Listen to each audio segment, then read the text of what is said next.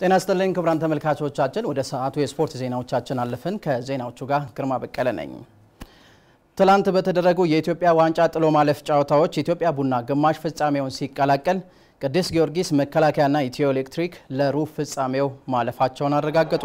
ትላንት ከ9 ሰዓት በኋላ 9 ሰዓት ላይ መቀለ ከተማን ያስተናገደው ኢትዮ ኤሌክትሪክ ለሩብ ፍጻሜው የበቃው በተሰጠ መለያ ምት አራት ለሁለት አሸንፎ ነው።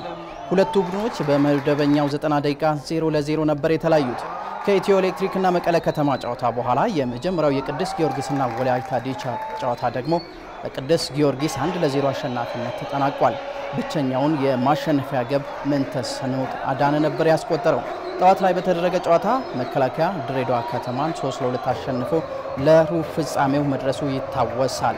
አርባ ምንጭ ላይ በተደረገ ጨዋታ ኢትዮጵያ ቡና ከባለሜዳው አርባ ምንጭ ከተማ በመደበኛው 90 ደቂቃ አንድ ለአንድ ከተለያዩ በኋላ በመለያ ምት ኢትዮጵያ ቡና አሸንፎ በፎርፌ ግማሽ ፍጻሜውን ከተቀላቀለ ጅማ አባ ጅፋር ቀጥሎ ሁለተኛ ክለብ ሆኗል።